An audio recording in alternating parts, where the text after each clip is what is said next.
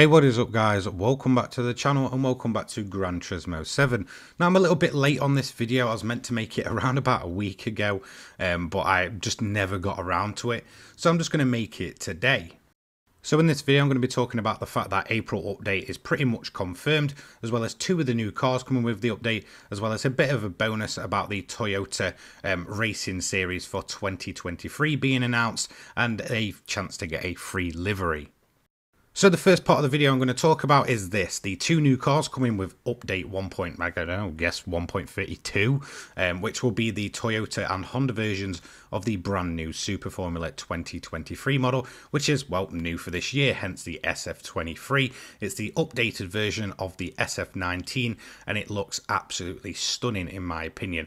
Those extra curved wings just really suiting this, these cars down to the ground. There will be two versions again, um, like previous, there'll be the Honda and the Toyota versions, both Dallara chassis. We also have the addition, or announcement I guess, of the Toyota Racing GT Cup for 2023, and if you participate you will get a free livery for the GR010 Hybrid, which will be the updated 2023 livery for that car, which is pretty awesome. I'm guessing that you only need to participate in a single one of the rounds.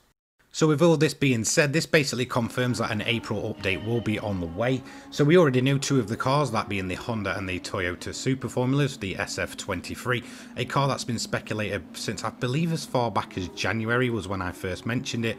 Um, so yes, that is coming with the April update. It was previously kind of leaked with the patch notes um, I guess prior to update 1.31 when that was all kind of going off. Um, so yeah, it's pretty awesome to see it officially confirmed. Yes, this is a bit of a delayed news. I just haven't got around to it. I've been super busy um, in my personal life, but I did think it was worth mentioning anyway.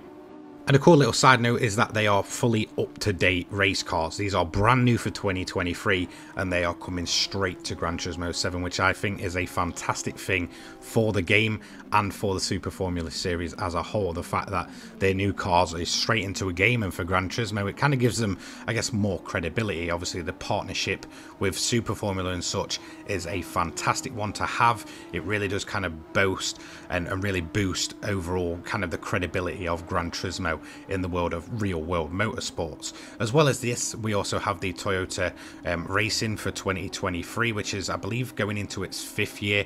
Again, boosting the credibility. Obviously, Toyota doing a massive esports push at the minute. Now, there is some to be, uh, I guess, to be declared or whatever um, on that kind of calendar. If you go and look at the Toyota Racing Championship, a lot of people saying this could be the cl classic GT1 Toyota.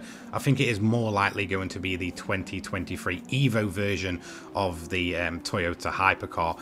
Um, I think more realistically, again with Toyota's partnership with Gran Turismo and this whole series, it would make sense that towards the end of the year, Gran Turismo 7 will get the updated version ready for kind of the finals and such. So, you know, I wouldn't hold your breath on it being the GT1 anytime soon. But overall, I think it's great for the credibility of Gran Turismo in terms of real world motorsports and esports pushing and kind of all that route that they seem to be going down. I think that personally, the Toyota Championship, the Toyota Racing Series, is fantastic to watch at the finals. Last year it was an absolute blast to see, and I think it'll probably be the same this year. It would be kind of awesome to see the, you know, the pros at it at the end of the year um, and kind of how they perform throughout the year. It's definitely one of the better series, and you can get your hands on a free livery, which will be the 20 2023 livery. I'm assuming it will go on the model that we already have in there, which is the 2021 model of the Toyota Hypercar. It is obviously not the updated Evo version. So it was just a quick news video really talking about the fact that April update is confirmed. We already know two of the cars coming with the update. I will be surprised with kind of what they do with the Super Formula, whether it will get its own cafe menu and series and such. I'm going to assume so. It would seem a bit weird that they just put the cars in the game and then completely forget about them. So hopefully they get some nice supported series just like they did in GT Sport. And hopefully we will see some other awesome additions with the April update. Now obviously that is going to be it from me today for this video video. Thank you so much for watching. Don't forget to leave a like, comment and subscribe. I always try and keep you up to date as, as much as possible with the news around Gran Turismo and everything going on. I do apologise that this video is later than you know I really wanted to hope for and that you guys probably would have wanted it covering on the day, you know, kind of prior to you know, I guess this week. I believe it's been up for around about a week, this news so far. Um, so again, I do apologise for being a bit late on that one. So that's going to be it from me. Have a fantastic day, and I will see you all later on, guys. Take care. Peace.